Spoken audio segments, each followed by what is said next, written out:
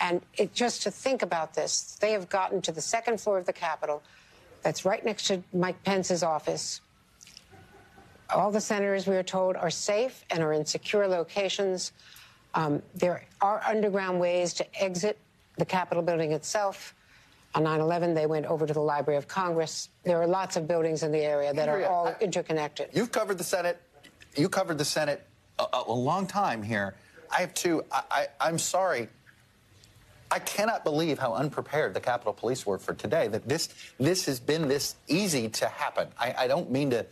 I, I- they're just roaming around. Uh, They were the- not to be.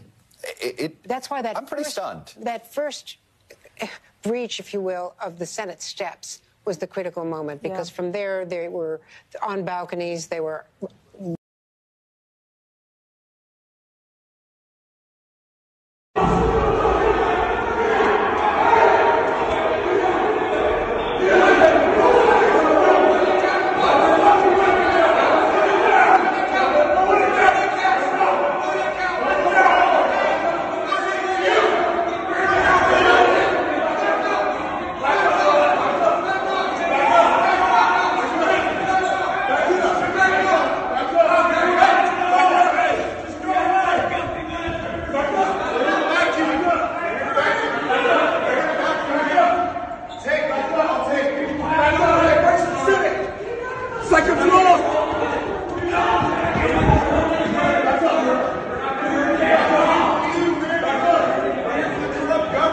Let's go.